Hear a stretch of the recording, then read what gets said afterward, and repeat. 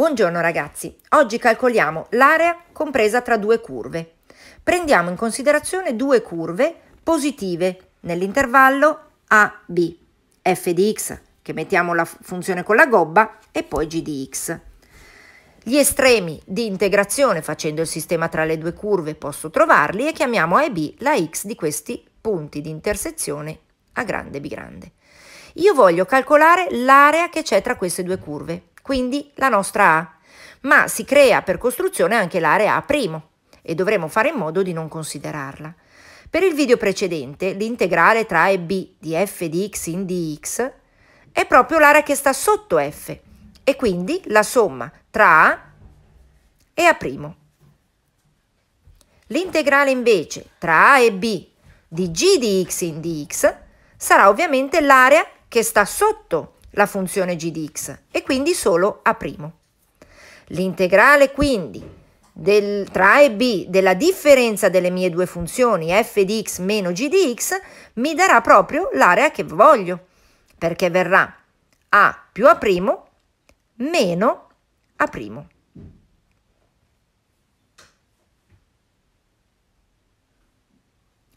Ora consideriamo il caso di avere le stesse curve semplicemente traslate sotto l'asse delle x, quindi l'area tra due funzioni negative. Per comodità le disegniamo proprio uguali, pensiamo proprio che sia il disegno di prima traslato sotto l'asse delle x. Abbiamo i punti A e B di intersezione che trovo con il sistema tra le curve e le due x A e B. Allora, mi si forma l'area A che è quella che voglio e l'area A' per costruzione. Facciamo l'integrale definito tra A e B di f di x in dx. In questo caso è l'area che si trova sopra la curva f di x e avrà valore negativo, quindi ci metto già un meno davanti e viene meno A'. L'integrale tra A e B di g di x in dx sarà l'area sopra g e quindi viene meno A' meno A. Mettiamo il meno per mettere in evidenza che A e A' sono positive e col meno davanti sono negative. Calcoliamo l'integrale tra e B della differenza delle nostre due curve e mi verrà meno A' meno meno A' meno A. Come vedete viene di nuovo A, anche se le due curve erano disegnate sotto l'asse delle x. Adesso prendiamo l'area tra due funzioni che sono semplicemente continue tra A e B. Anche nei due casi precedenti ovviamente le funzioni dovevano essere continue come le ho disegnate. Eh? Nell'integrale definito quello deve avvenire sempre, funzioni integrandi continue nell'intervallo di integrazione. Ci costruiamo le nostre aree, qui vedete che si formano più aree, A1 per costruzione, A2 e A3 la cui somma è l'area che devo trovare e A4.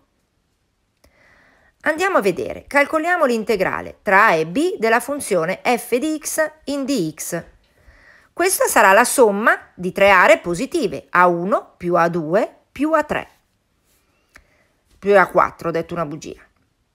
Invece l'integrale tra a e b della funzione g di x in dx mi darà l'area positiva 1, l'area negativa meno A3, che adesso così l'abbiamo indicata bene, più A4. Se vado a fare l'integrale tra A e B di f di x meno g di x, in dx, lì ci va un dx, mi verrà la somma delle prime tre aree meno le altre, quindi meno A1 più A3 meno A4. Semplificando le aree che possono essere semplificate, mi rimane proprio la regione che volevo.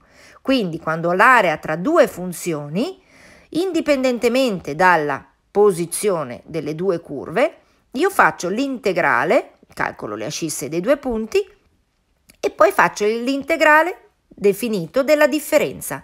Se sono partita da quella che sta sopra, parlando di y, viene un'area positiva, altrimenti devo cambiare il segno o invertire.